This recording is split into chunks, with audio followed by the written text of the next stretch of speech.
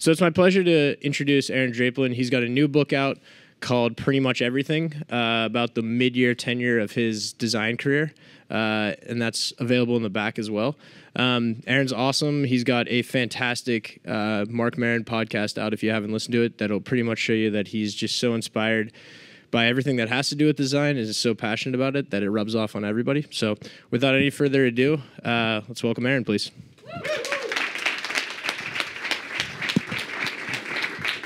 All right. Okay, th- this side of the room, settle down over there. That side, all those people. Hi, everybody. Hello. Hi. this is so. No, I gotta, I gotta use this thing today. Okay, everybody.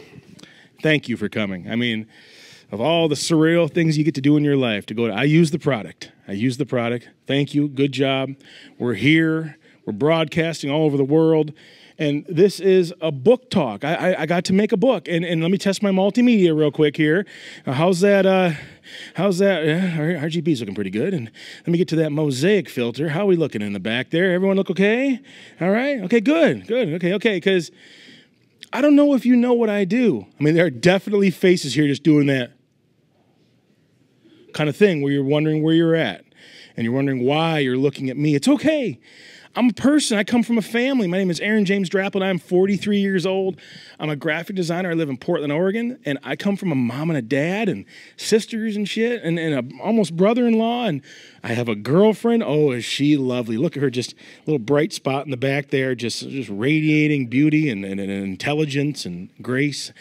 Her name is Lee. Um, you know, when you see this in the book, I this is a spread that I didn't get paid any money, you know, and it, and and what, why I love that is because I made a life in graphic design where it wasn't always about just cash or big jobs or whatever.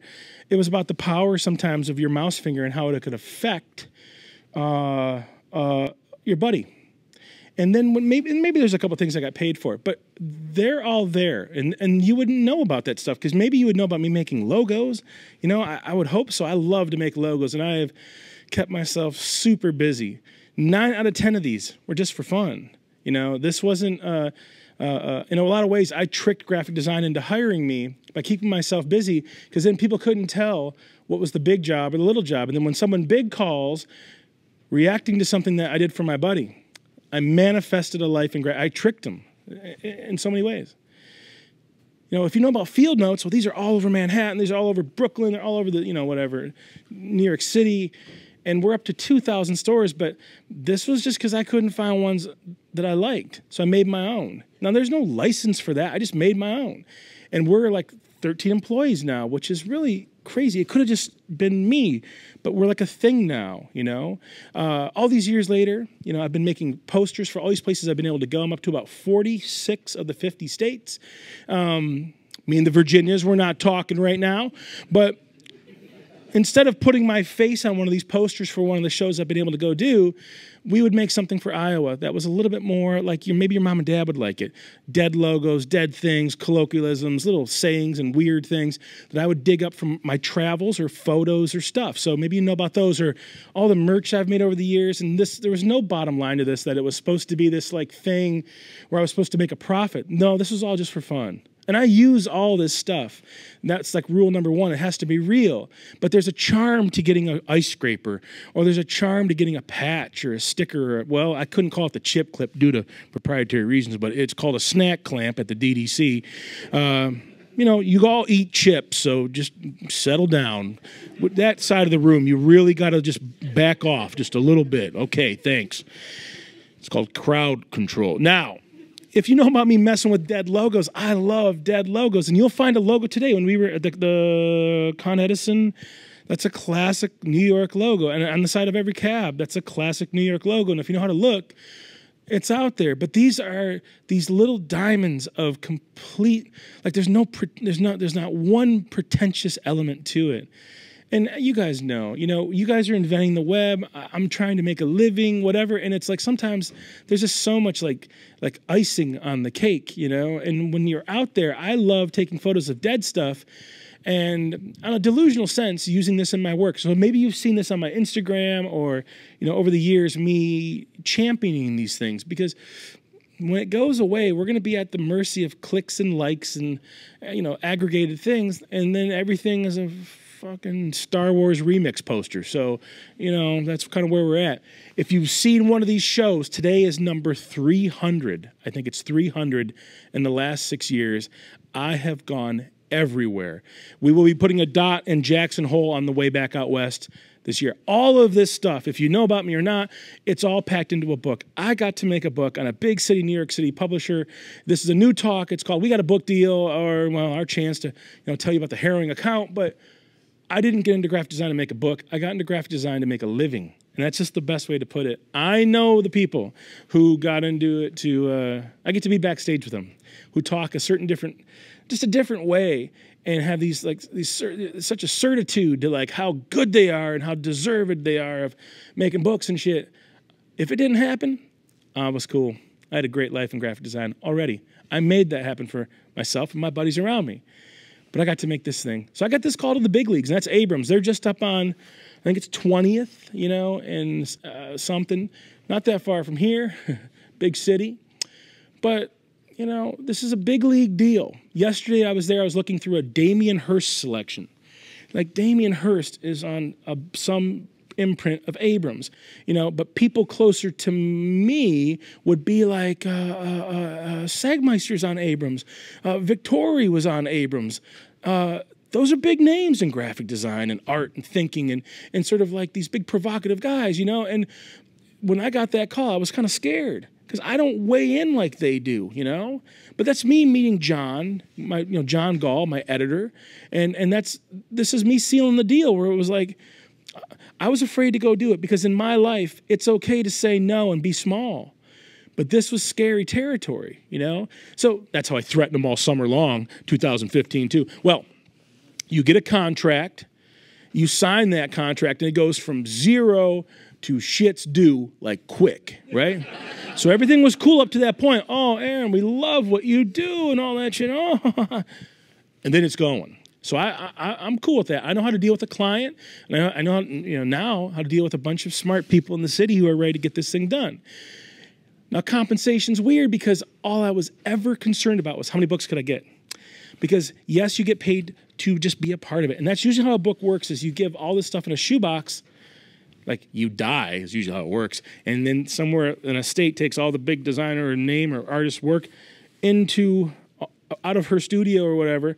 They build a book for the person, and then the book comes out on an imprint, you know, and that's how it goes. But I was just like, I'm still alive, and I said, well. Who designs it? Well, we have two people here in New York City. No, no, no. I, I dabble in graphic design. I dabble. You know, who writes it? Oh, we got this smart graduate, whatever graduate said. I'm writing the fucking book. So I got paid to be a part of it, build it, and then like write it, right? Which meant this 1,500 books. All right. So that's Barnes and Noble like price. You know, that's just that's just that's what I got paid. And and I was cool because in the game of perception, if Abrams sold one, I knew I had 1500 to go push on the road or give to all my buddies. Book number 1 went to my mom, right? So that was worth it. But then that shit shows up and you know, it filled this stage. 1,500 books. You know, I don't know how to use a pallet jack. you know, we like screwed up the elevator rugs and shit because I had like 3,000 pounds of books in there and, you know, whatever. But it's real easy for me to get up here in front of all this lavish crowd. See, what you guys can't see on YouTube, there are 10,000 people sitting here. Listen to them. There's 11 people. There's more people in this fucking photo than there are in this whole room. Just kidding. I'm just kidding. So thank you. Uh, it's real easy for me to be like, I did this, I did that, I did, I'm great, I make a book and all that shit. There's a bunch of people that make these things. I got to go do this talk yesterday to all the people at Abrams who helped me make my book. And a year ago, I went there you know, we're getting ready to start seeing them show up, and it was March of last year, and I thanked every single one of them, hand over a cubicle, like, thank you for believing me and, and, and doing this thing. It's gonna be awesome. I can't remember the names. Ronnie, Bobby, Ricky, and Mike, Jackie. I can't remember all the names. There's so many people. They're all good looking and healthy and nice. There's me and of course John. But you know, I thanked them all. And I did yesterday too, because, you know, this wasn't supposed to happen. And yet they kind of say, like, our authors don't even come into the office sometimes because that's just business, you know, fine. But I'm going to haunt all these people the rest of their lives with this thing. And I have to thank them for letting me do this. Now, the schedule was weird. I thought it would take two years. No, no, no, no. We did it in about three and a half months. I got the call in November of 2014. I bought ddcbook.com that afternoon, freaked out. Signed the contract five months later in March of 2015. We started the book in June of 2015, had it done by September, handed off by November, printing January of last year, and it came out May 17th. So, this idea of like, I got to build and write and design and compile for about three and a half months. And then it just, the process of whittling down, you know, all the typos and things. And the first printing had 26, but it took three months, you know, to like just to get it ready to hand off, and that's just called being, you know, published. You know, the basic elements, you know, are really, really simple. See, there's a bit of a chip on my shoulder because, you know, like, it's a great privilege to be here with you guys. It's a great privilege to have the book. It's a great privilege, in a weird way, to have people come after you because they know your name because you have this book or something, or because they know your name from some poster site or something and I read all the comments. I'm a human being, you know, and and and the idea that like I'm gonna call this a mid-career survey, like that just sounds so official. You know, I wanted to show this, pack it as much as possible, all the shit I pulled off. But it's kind of a chip on the shoulder because listen, for every little turd who's come after me, grad students, and come after me because I've tried to live a life creatively and tried to live a life, you know, ethically working for clients I like and make things I like, even to a loss. I'm a target. And I read that shit as a human being. So making this book in a lot of ways was a lot of. One kid said that Draplin's a one-trick pony. I'll never forget that because I was like, well, he's about 16 in that stagecoach. You know, I'm a little biased, but it's like, man, you can't. He doesn't know about this. He, that kid didn't. I, I made snowboard magazines for seven years, but what's important is I know my way around a grid, and snowboarding doesn't look like that. It, snowboarding, you know skateboarding and shit. I mean, it's wild and stuff, but we made our mag so you could actually read it and read the articles and look at the photos and not have it just bombarded with all the latest tricks and shit. Now, that could have been maybe, if I dare, you know, a dwell or something, the things that I aspire to. But they don't know that I know my way around the grid. They don't know that stuff. How do you go back? They don't know. If you look at the top row on the, on the top right, that's not chicks in bikinis. That's a women's issue we made. And the women had their, let them go for it.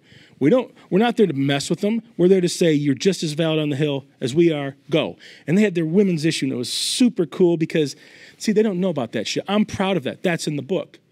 They don't know about 12 years with Coal Headwear, where it started with two of us in a basement, and there's 20 or 30 kids there now. They don't know about that stuff. I did every hang tag for a decade, you know, on a, on a hat or, or every year for Union Binding Company, we'd make 50 logos. They don't, they don't know about this stuff. So to be, uh, they're like cheap shots. I've just learned the internet is forever, at least right now. And when you leave that stuff, that's what you're going to be known for. And it takes all my strength not to go back to that kid. So making the book was kind of a big old hairy, well, whatever. I know my way around the grid. Here's all the stuff I got to make. You know, and it's a simple system, you know, it's some typefaces, it's a simple grid, you know, something there, write an essay, big old hit of orange, some tricky content. That's my nephew Oliver, six years old. First tooth just came out. So cute. That's, our, that's the light of our lives, my nephew Oliver. Last summer's lowest points, well, it should say, yeah, you know, this was summer 2015, but I worked every every day that day and because it was my shot to do it, you know, and and this shit that like like I was forced to do this. First of all, they came to me. They came to me. I didn't go to them. I'm not gonna go knock on their. A lot of kids ask me, "How did you submit your work to get it into a book?" And I was like, "What are you talking about? This was a record deal. They gave me the record deal. So when it was my shot to go do it, I'm not screwing that up. I was scared. I was on a contract, but you know, I would leave the house, rip down to the shop in Portland, work all day and go home at four in the morning. And when I would go home at four in the morning, I wouldn't even put my pants on. I would just drive home with no pants on. And then it got so weird that summer. Hello to this side of the room, all of you other 3,000, hi. You know, hey, I wasn't wearing pants on the way to the job. You know, at 7:45 in the morning, which is a little tricky getting onto the elevator uh, uh, out of the basement at the shop. So no complaints though, no complaints. I mean, I just worked all day, 17, 18 hours. Now listen, behind every 586 pound graphic designer who is uh, uh, uh, probably getting a ticket triple parked in, in Brooklyn right now. Probably, uh, well, not debatable, uh, chafed. Uh, here in the city, sweating. Behind every one of those graphic designers, at least right now, is a patient patient girlfriend. And her name is Leigh McKolay. And she's right there, just a little bright spot, just a little buttercream icing rose on a big orange turd cake. Look at her. Look at her. Isn't she just lovely? And please get a nasty Prince song in your head right now, something real wet. Okay? You got it? Because look at her. Isn't she lovely? Isn't she just, God, what did you guys expect for what you're paying, right? Look at her. Look how, look how sweet. She's three there. Look at the symmetry. Look at the symmetry. What is she doing with me, right? Right? Graphic design took me to Berlin. Lee got hammered on that first class trip over there back. It was great. She likes to sing, and I don't even know what a salt cave is, but um, you know that's that's the one person that summer that that really made sure that I didn't eat out of a bag every night, right? And would you know would bring me stuff to work or get me home, and I would you know have a somewhat regular meal for dinner, and then you know work late. So I have to thank her because we're on this tour, and this shit's not easy. I'm 43 years old. Leah's, and you know I'm not going to get into it, you know. But I want you to see this because this is cool. She has shacked up gone right to the muck and is in, in it with me in this thing. And poor girl, but she's she's she's around resources because I'm doing this stuff all the time. And you know that turd, Don Trump. No one voted for him here, right? Not for the crowd who's not here. Not one even motion of, of because you know if you did, you're complicit. But uh, uh, she's pissed. Don Trump railed the wrong cage. And she made these little postcards. And we're selling them at our merch table. Not today, but on the road on this tour. But that's my favorite one. Wait until our periods sync up. So uh, you can send this to your senator or congressman and tell them that they're stupid, and Lee will facilitate that for you on her little postcard. She's already raised two grand for the ACLU with this thing. So if you go to Notes to Self, you can see her project starting. Starting. This is a person, and she's pissed, and she's fighting back creatively. And that's a lesson for all of us, and definitely me. I don't know what to do. I'm afraid of that turd. So I don't know what to do. But I, I you know, thank you, Lee, for coming today. Thank you for coming on this tour. All right, here's the shop tour. Now, that's the shop. That's it. That's where I get to be. There's no reception. There's no Star Trek doors you walk through like we just did 40 seconds ago, right?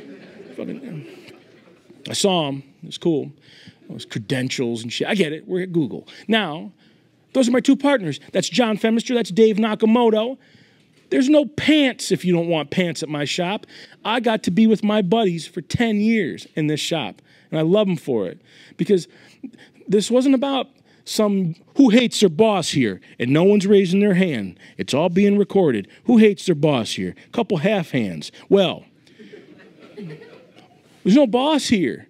We take care of each other. And I'm just so proud to even show that I got to do it in this with my buddies and get away with it and make a killer living, take care of myself and my mom and my dad and Lee and my, my sisters and shit here amongst all my little trinkets and goodies and stuff. This exists.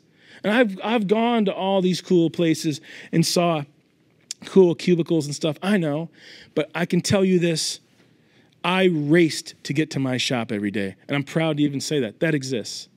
Okay, who's got a book? Okay, he's he's flipping right now. It's a random page flip, and he landed on. Good job. My summer as a carny. Do we have any carnies in the crowd?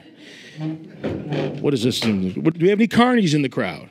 Okay, well, I was a carny one summer. That would be 1994. I, I, went out west as a youngster in 93 to be a snowboarder with all my asshole buddies. And how we got out there was we had like uh, summer jobs. And, you know, all summer of 93. Went out the winter of 93, 19 years old, me and my buddies. You know, if you haven't done that yet, where you move somewhere crazy, now usually I'm telling this to 22 year olds in a, in a college, but if you haven't done it yet, go do it because it'll be better when you're 24 than when you're 43 like me, right? But we got it out of our system at 19. We went and did this, went all the way out west, and then had to come back with our tails between our legs, broke, and had to work another summer. And I got this job in a carnival. And it was, a, you know, like uh, a traveling deal all summer long in Michigan. But there's a hierarchy to this stuff. Someone owns all the rides and all the stuff and books all the shit hires all the carnies, but they run the thing. They rent to a food court. The food court hires us as sort of college kids. We work for the food court. We're in a pizza wagon, me and my buddy Chad. We sign a kind of a, you know, just a, hand, a gentleman's handshake all summer with our guy. We're going to work, you know, 12 weeks. But at the, underneath that are the carnies all the way at the bottom. And we're not really supposed to hang with the carnies. I mean, they're rough, they're kind of dirty, you know, whatever. They're just kind of hard scrabble people. But two weeks in, Chad and I, we're doing our pizza wagon. We're noticing every night there's a little table and they're giving draws based on daily earnings. So if someone worked and they tore the stuff down or they put it all up and they ran the ride the carnies all day, at the end of the day, they've got this little table, get 5, 10, 15 bucks, and you do that every night, plus pay. They were charged to sleep in these little like uh, air conditioned like uh, uh, sleeper units or something. Well, here's the deal. Three weeks in, every night, Chad and I, we would cavort with the carnies. We'd take them in our truck into town to go hit like a supermarket. Because if you're if you're not doing that, you're eating elephant ears and pizza all summer long, you know? And that kind of worked for some people, but we were going in to kind of like stock up. So we'd put people in the back of our truck and we became buddies. And we were hanging out with the carnies. I remember one kid, 31 years old, he had his 15 or 16 year old kid with him. Like, just do the math on that shit. That's what's going on. So Chad and I, as compassionate people, you know, we're like, well, all right, these, these guys are cool. But three or four weeks in, getting those draws, we'd say, hey, you know, how come you're not coming in with us tonight to some kid? And he'd be like, well, I'm broke, you know. At the end of those two weeks or whatever, they're taking a draw. They're getting the charge for like, the, some guys would like be intense outside of their vans uh, driving along to save money. All that shit's taxed. And sometimes people would owe money to the carnival. And I'd be like, what are you talking about? And they'd work it off, I guess, the next couple days. But you know what? I had a mom and a dad. I had a little bit of college. I had direction. I had this wanderlust to go west. These kids didn't have that. I had a support system. My mom and dad didn't cut me a check to go west. We worked all summer. But I had them help me when I came back just to give me my old room back or whatever, right? And it's like, I had their creative support and teeth care. And these kids didn't. And Chad and I watched this shit go down, and we're watching people make some bad decisions, maybe, because it's kind of like, I don't know, like a gentle indentured servitude or something. Those carnies still put those rides back together. These people had, were legacied into this shit. So Chad and I, like a couple dumbasses from Midwest with a heart, we started watching and we started stealing. And how we did it is when the guy would come with a $4.75 Mountain Dew this big, give me a $5 bill, I'm supposed to give him a quarter back, I give him change for a 20. And we Robin Hooded that shit the rest of the summer and took care of these guys. And here's the deal.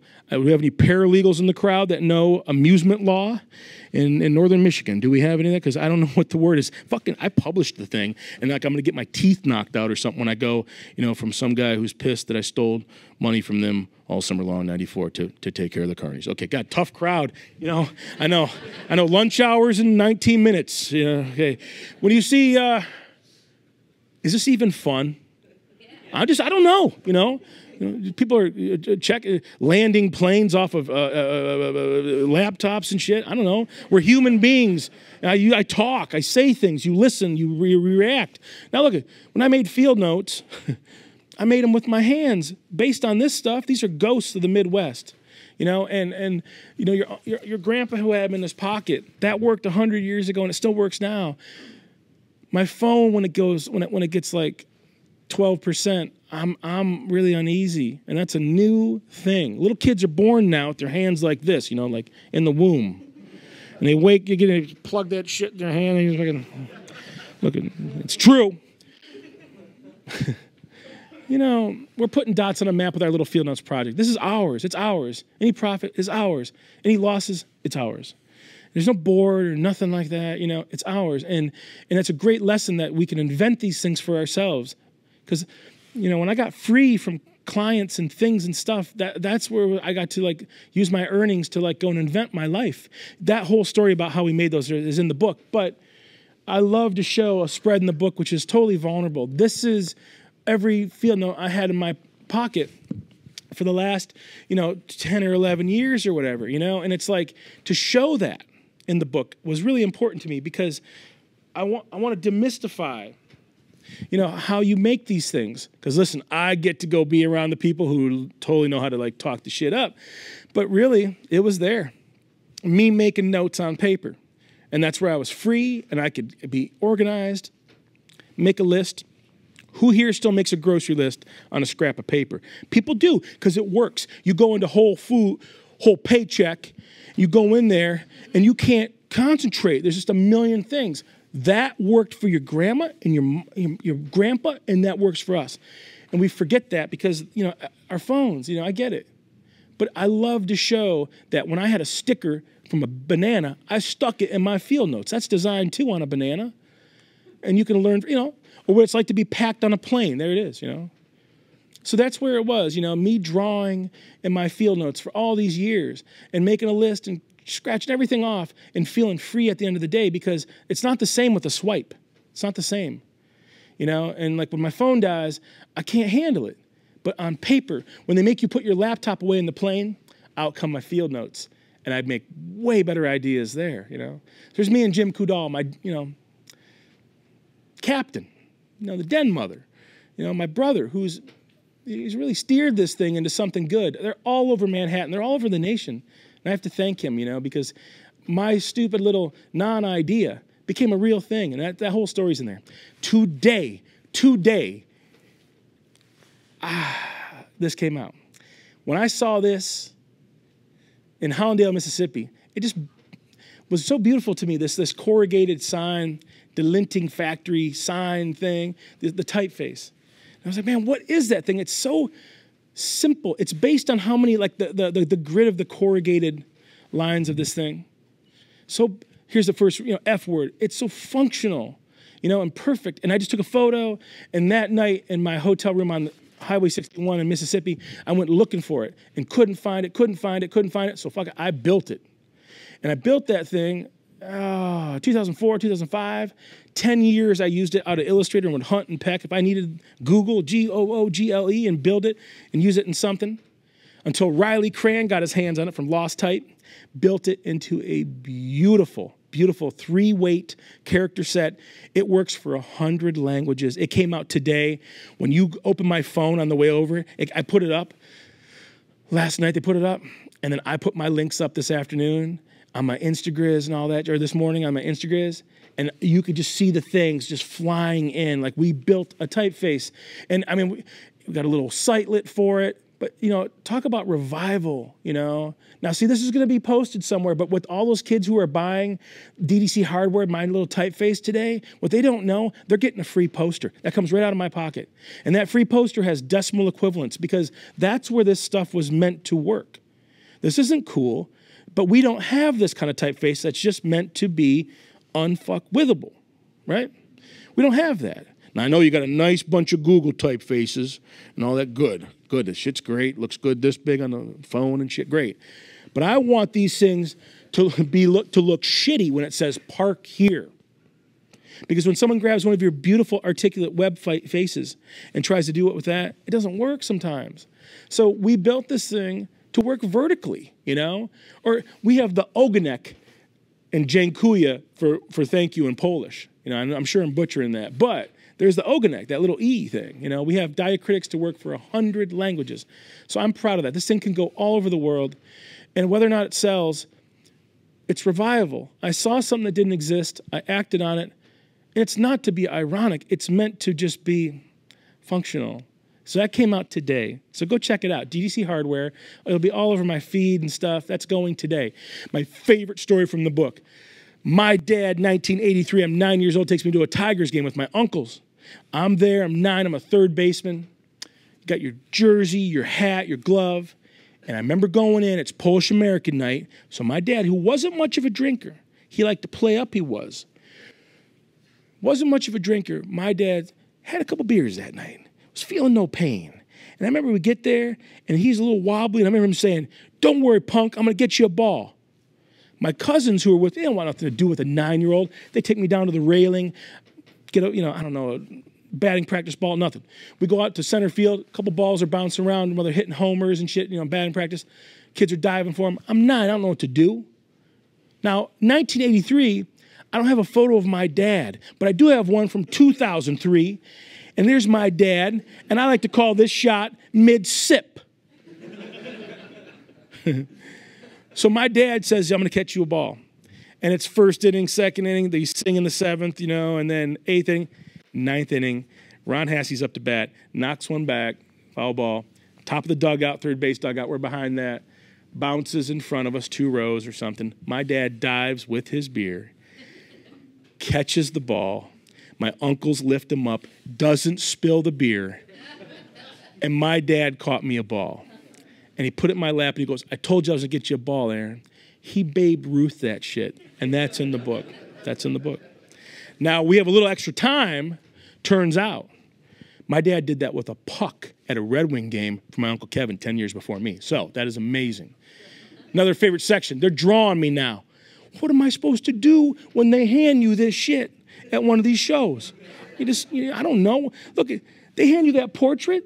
It's like this big. I'm not putting that up in my office, but it was like emotional. Look at the, the likeness. It's so crazy. And that's my buddy John Hammer in Tulsa, an incredible painter, illustrator, just an incredible person. I don't know him that well, but I'll love him forever for him doing that of me. And now, like when I'm gone, I guess Nakamoto Lee, Dave put this up on my desk because I'm gone for 10 weeks. So when the people come in there, they're like, why does he have a painting of himself on his desk? That's there. They're embroidering me now. Yeah. When they hand you that one, this is a buddy in Portland. I love him, but the eyes are all wonky and shit. I know he did it on purpose, but you just love them and you say it's perfect. You put them on your Instagram, and then of course this. Ugh. this is in the book. Two spreads dedicated to all the guys and girls who drew me, and I thank them, and it's just so cool.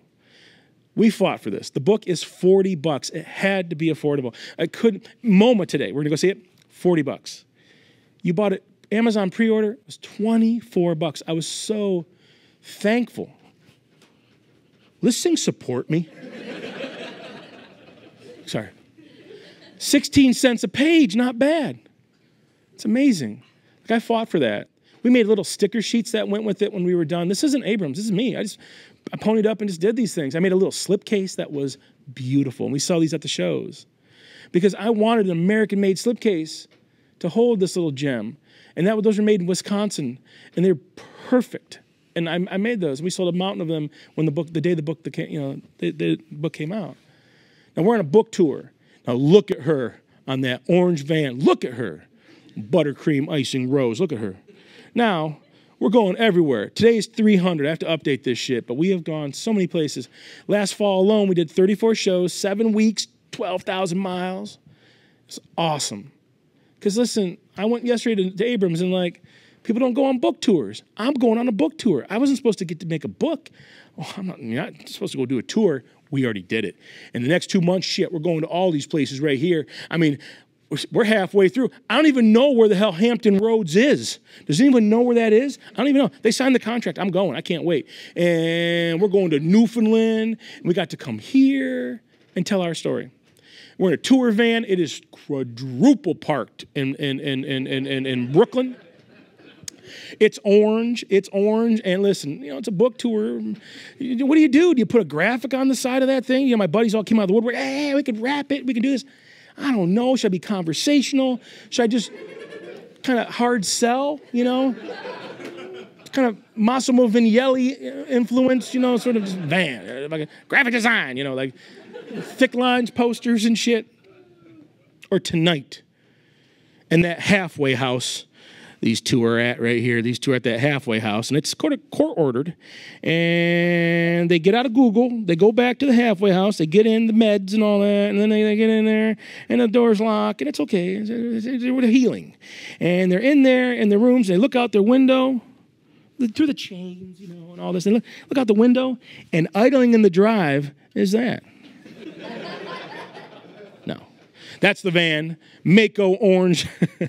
did a Maaco factory paint job. So much money, but it was, oh, it's orange all the way through. You open the doors up, it's all the way orange.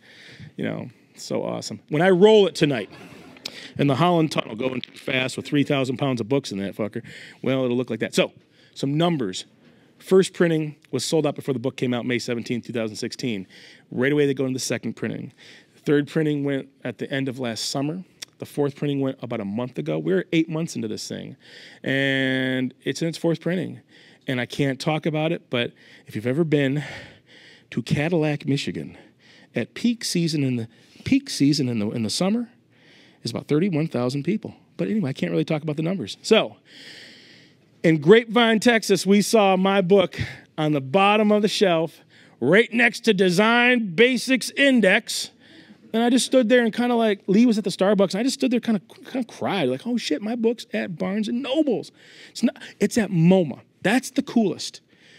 But you can get it at a Barnes and Nobles in Grapevine, Texas. And I stood there, I flipped out seeing that, and then of course I cleaned off all that shit at the top row, put mine up there, and ran out. So I got to go quick.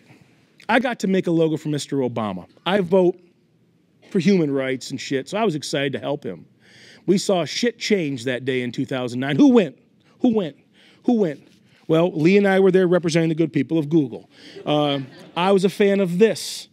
I loved this. I loved what he represented. I loved intelligence, grace, cool. That meant that to me. This is a new kind of campaign, a new kind of president and he got it.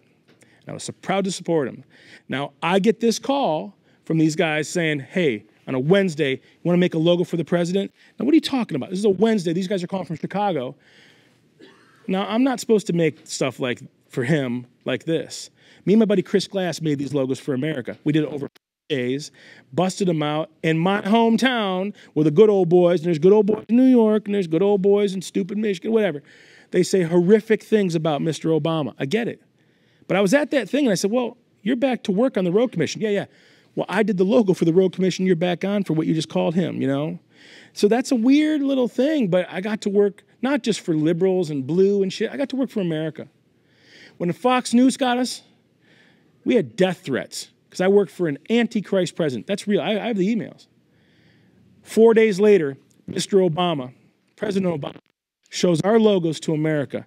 We did it in four days over a weekend. My buddy Chris Glass and I, we got to work, yeah, for our country, you know? Now, this is my greatest hit. It's all downhill from there. But I want to meet him. And I'm on the road entertaining precisely this section of the crowd. Like people like you guys. People like you guys. Work release. Work release. I get it. I'm out there entertaining those guys, and Lee's back home, and we get the nod, and she gets to go meet the prez at the airport in Portland. And she goes, and she does her best Jackie O and gets all dressed up and rips down there, and I'm on the road entertaining them, and she gets to meet the press. And I didn't, and I'm still pissed. And she got, you know, after this shot, he's right here, and she, you can't put your phone in his face. All the Secret Service tell you not to. And he goes to the next one, and there he was. And she gets, gets to her car 20 minutes later, and she's like, near tears, like, we believed. We believed. Now what? You know, now what? And we're terrified. But for those eight years, I was so proud of him. And then, ho ho, and then last summer, and I got you all right where I want, right in the pocket. I got you right where I want you, right in want. And that little, by the way, I got to tell you something. I got a whole new life going right now. I got a whole new life going. You know what I discovered? a whole expanse of freedom, comfort, and movement. Stretch denim. I did. And I've got you in that little pocket right there, right where I want you. So look, we go up to SeaTac last year. You know what lands? I'm there in my best Cabela's Bargain Cave sweatshirt or whatever. and he gets off the plane, he comes down, he shakes all the hands of all the dignitaries in town, Seattle comes running up to us, gets about me to the corner of the stage, and I just, oh shit, I started to cry because it was, you know, it's Brock, and I, I, believed in him. When he got to us, we got to, gets to Lee right here. They like know each other. Like, hey Lee, hey Brock, you know, fucking fist bumping and shit. When he got to me, all I could say was, "I'm gonna miss you, man." That's what I told him. Now I'm crying my eyes out right there, and I guess because he kind of took pity on me. I got the handshake, I got the hand clap. Lee says he even hit me in the shoulder, kind of a buck up kind of moment. But if we go back one, Look at the face of that Secret Service agent. That is not the face of security, that is pity. Because I'm crying my eyes out, meeting the leader of the free world just to say thanks for having fucking dignity. He did. You can't take that shit away from him. And this new turd we have, now what? Well, I got to work for Bernie too. I got to make three posters for Bernie, which was so cool. And then a year ago, we came to the Bowery and we went and saw an art show with all of our names, and we got to see. And then he shows up, and there's arms and elbows and assholes and whatever, and I can't see. And there's a little bit of Bernie right there.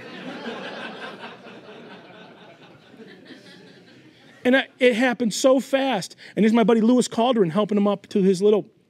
My buddy Lewis worked for him out of Burlington, where Lewis is from and worked for Bernie and got to help him on this whole campaign. And then Bernie does his, you know, top 1%, whatever. And then, and then there's Lewis looking at me going, why are you crying, Draplin? I'm in the back watching this shit and I can't see nothing. And then he's gone and there's lights and motorcades and shit. And I was digging around the web and I found a photo for proof. I don't have proof, but I found proof. yeah. There it is. I'll do it one more time. We got it. No, okay, okay, okay. We got to keep going. We got to.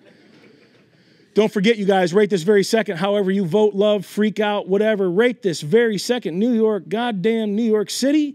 We are in a vast, mysterious, infinite, big old question mark. You can go this way to 140, 141st in Amsterdam, I think it is, to where uh, my cousin Tommy lived up to one nine or whatever when I was 25 years old the first time I came here. You can go that way nine miles or eight, six miles, or whatever it is. Now you can go this way to New Paramus. We go to Home Depot in Paramus, six more miles. Great, great, great. You can go 60, 666 trillion miles this way right this very second, and that's real. This way, 666 trillion miles, and that's real right this second, right now. And theoretically, we could go in this direction infinitely, and that's real right now. Does anyone think of this shit? That's real right now. I know your lives go by faster here in this big city, but I think about that shit and it brings me to tears. And it's so beautiful to me that I get to be one little mole on the ass. Great, big, grand mystery. That's real because B, A says you can go forever. B says if you go quick enough, you get to the edge as existence is creating its herself, as it's making herself out there. What the hell is it expanding into right now? Or if you can go in one direction forever, I don't know, just get cosmic.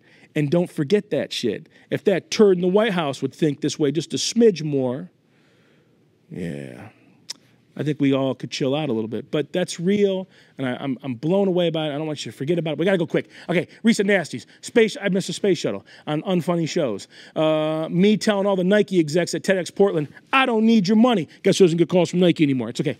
Uh, field new field notes and logos. These are posters that go to Art Education Inch by Inch project out of uh, uh, uh, uh Indiana. My buddies Drew and, and, and Bob. My buddy made a skillet company, uh, Finex, and I got to do, you know, type typing logos for it. And he's up to like 28 employees. That's so cool. My dad died. I got him tattooed on my arm. It was kind of looking wonky, and I got a bloody toothpick somehow. I started art directing him. He got all pissed off. it's my arm. Dinosaur Jr. poster, which Hodgman saw, and I made one for him for his big comedy tour. This is my, my, my friend Maya and her incredible little, little company she's making up in Burlington. It's going to be called The Hungry Pea. this is stuff for Target for a big art show in Aspen, but not as cool.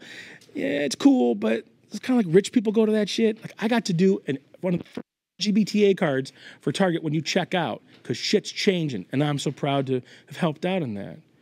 This is for Justin Vernon's big Bon Iver, you know, his big festival. I got to do the logo and stuff, but I also did the backstage passes that first year. I know how to make the crusty stuff as much as I know how to make the fun stuff. And my last Nike logo I'll do, you know, for a Janoski shoe, which is skateboard stuff. I grew up in skateboarding, and that's a big shoe for them, and I got to work on that. That was cool. Our third Skillshare is out. It's going crazy. My buddy Elliot's just somewhere down here in the lower, you know, uh, west side. We're gonna go see those guys while we're here. They put me on a magazine cover, How to Kill a Magazine 101. Uh, some multimedia, some multimedia. See, it wasn't a, it wasn't a problem. It wasn't a problem. Your Google shit was de- de- detecting, you know, that there was something wrong, corrupt. No, no, no. It's a multimedia. Two million on that Vimeo link. Whew. Now little kids come up to me in the airport with their moms, and the mom like lets her go, and the little girl comes to me and she says, "Are you Adam Drake?" Glenn? And I said, Yeah, I am. Hi, hi. She goes, I want to make logos when I grow up. That happened to me a summer ago. She saw this video. Maron let me do his poster for his show in Portland, and then he put me on the podcast. That's my greatest hit. So go check that out. It's real weird, you know. Polish mugs, and I've been painting. I've been painting. And it, you know, it's just dumb shit around me, you know. And my sister Leah's all pissed because she said I gave her a neck beard and whatever. now look at my nephew Oliver, so proud. He's on the ground. I'm up on a ladder, and we're all these are all the these are all the signs we made for my dad's garage sale last summer. Because now I'm patriarch in training, and mom says we need signs. So me and Oliver get to work that that that, that you know that morning. And we make signs, and do people know when they were turning into that garage sale? They're being by, guided by signs from the hand of one of the greatest living graphic designers of this generation. They don't know that shit. They don't know that. They don't know. Look at the concentration on his face. He's at a third grade reading level. He's in first grade. He's okay. He's healthy. Don't worry. He's in good hands. A woman in Iowa, when I did this, she was. It's a joke. I went to Guatemala. That was cool. So listen. Okay, we got time. People I've met in airports and shit. Look at, I met Maron in the airport. He didn't remember, but I look at the face he made. Because who am I walking up to him? Well, I met him. Shook his hand. The catfish dudes. Chip Kidd. Before the book, he was like, You're going to make a book. And I was like, No way. And I got to make a book, and Chip said it was going to happen. Neil Hamburger, I met him. That was cool. Was awesome. John Hodgman. I was just on John's show this last uh, a couple nights ago in Brooklyn, which was really fun. And usually it's like real people like Wyatt Cenac and Jason Sudeikis and shit, and Jon Hamm. And then something happened. There was probably a hiccup, and I got on the show somehow. That was cool. He's a buddy. I just did his new book cover. If you go look that up, that came out yesterday. Um, J Mascis uh, came to my pop up. I grew up on Dinosaur Jr. I love Dinosaur Jr. Hmm? LaFonda. Yeah. Came to the site. Yeah, came to the show. Yeah. And then this turd. I'm at getting on my flight in Minneapolis down to Des Moines, so is Gene Simmons. But I didn't go shake his hand. Fuck Gene Simmons. Well, right before this, a guy walks up with a Sharpie and his ticket. And he's like, Mr. Simmons, I saw you in 19. I'm right, I'm right to the edge. I'm right there, you know. Gene Simmons is right here, and I'm standing there, and I'm I can see the, the dyed hair, the rock jeans, you know. I'm looking at him. And a guy walks up, he's right there, and I go, he says, Can I get my your autograph? And Gene's got his phone, goes back to his phone. I watched that. And I was like, man, that guy slinking away, that's who gave you the 300 million you're worth. And you can sign his fucking his ticket. We didn't do it. But so you know who you're fucking with? I'm a Delta Diamond Flyer. and I got upgraded and I made sure that I just did one of these, you know. Hmm. onto the onto the big seat, and I get in the big seat, and he doesn't, and then I'm in the big seat when he comes up the lane, and the and I go, well, hello, you know, he's coming to the thing. We get off in Des Moines, and the whole place is looking at him, and we get up to the baggage claim, and it's all quiet and weird, and people are looking at him, and it's fucking Gene Simmons, and he, I see him 50 yards away, stop for these three like lady cop things that are like uh, like on like segways or something, and he puts his hands against the wall and he says, "Frisk me, officer." I saw that, and like, "Oh, Gene, you lady killer," you know. And he comes walking up to us, and you know, if I fall off this, I just die. Now, if he comes walking up to us, and he gets to about right there and there's this like circle of a hundred people and he's right there and his glasses come off and he's kind of looking and i have all my bags and shit from the merch table and i just walk up and i go holy shit ted nugent. And walk out so. Fuck that i met richard simmons in the airport. Look at that so yeah. Boy tough crowd huh from gene simmons who sucks, to Richard Simmons, who rules. Okay. All right, wake up, New York. All right, thanks. Uh, when you guys are slumming later on, go follow me. I don't care. I've already been paid. Thank you. Uh, buy the book. We got a stack out there. People figured out how to get this thing. Go get a book. They're fun. I'm a little biased. We don't well, go to the site and get some merch. But thanks for coming, you guys. For listening to this shit. This is from my dad, always. So yeah, that's it. There's so many people, it's hard to wave to them all.